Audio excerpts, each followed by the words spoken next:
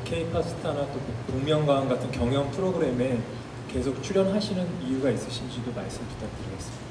네. 아, 프로그램 나오는 것도 저만의도 욕심이 있는 것 같아요. 뭔가 좀 저도 오랜만에 컴백을 하는 것도 있고요. 뭔가 좀 어, 되게 오랫동안 거의 2년 동안 제가 어, 활동을 안 했었거든요. 그래서 아무래도 그 시간, 그 오랫동안 그 시간 안에 어,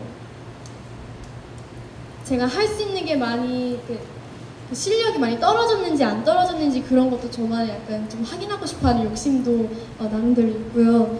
어, 뭔가 좀 또 더 좋은 또, 또 받고 싶어가지고 정말 냉정한 그런 조언을 받고 싶어 하거든요.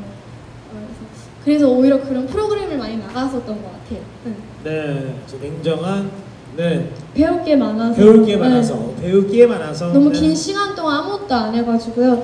뭔가 좀 너무 얻을 수 있는 걸 다 약간 좀 기회를 놓친 느낌이 들어가지고요. 네. 그래서 프로그램을 많이 나가서 그못 받았던 조언을 이제 다 받게 되고 이제 예, 더 성장하는 약간 그런 예.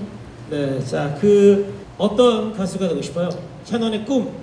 저는 어, 가수보다는 엔터테이너라고 그게 되게 강하게 잡혀 있습니다. 아, 그래요. 엔터테이너로요. 네. 엔터테이너. 네. 네. 노래도 하고 춤도 네. 추고 소- 모든 연기도 하고 다 소화할 수 있는 소화할 수 정말 있는. 그런 엔터테이너가 되고 싶습니다. 네. 네. 아, 종합 예술인이 되길.